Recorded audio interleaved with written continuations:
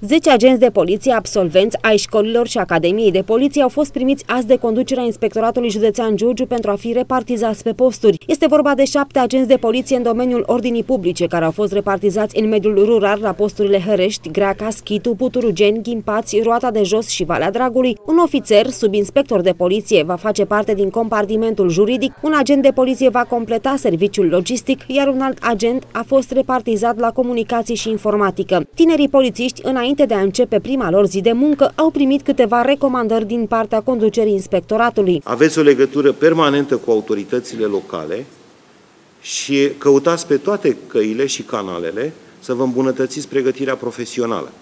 Vă recomand să vă înscrieți și la cursuri ale unor facultăți, să faceți și studii superioare, necesare muncii de poliție, în special în domeniul drept.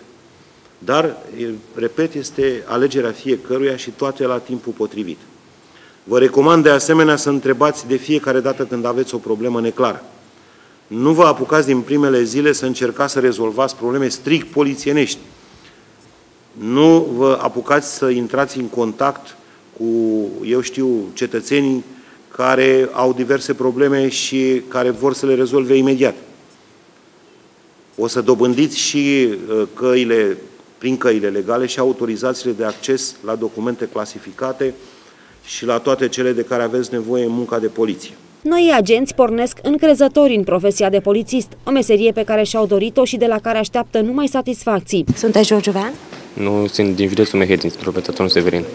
Și cum ți s-a părut repartizarea aici la Giurgiu? O repartizare destul de bună, ținând cont că este destul de aproape de casă, e ok. De ce v-ați ales această profesie? Pentru că asta mi-a plăcut, mi-am dorit de mic și spiritul civic. Un loc de muncă stabil, salariu decent, uh, un loc de muncă activ, atât. Veți merge în mediul rural, în județul Giurgiu. Uh, cum vi se pare? Momentan, ce să vă spun, vedea pe parcurs, sper să mă voi descurca.